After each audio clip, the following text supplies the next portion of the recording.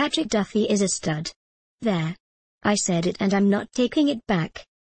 For those less enamored, you know him as an accomplished actor who became a household name back in 1978 when he originated the role of Bobby Ewing on the CBS primetime soap opera Dallas.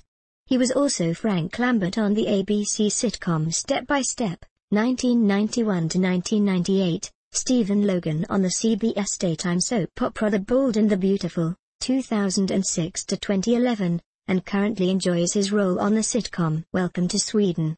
Duffy, 65, reprised his role of Bobby Ewing on the new version of Dallas in 2012.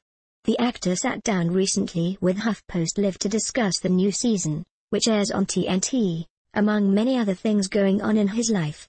Here's a link to that great interview. Meanwhile, back on the editorial side of the Huffington Post, we were thrilled to speak with him to discuss the original Dallas, why did he really leave the show, plus we threw some fun, rapid-fire questions his way, where he shared the disadvantages of getting naked at 65. I'm a huge fan of yours because I'm the original Dallas fan.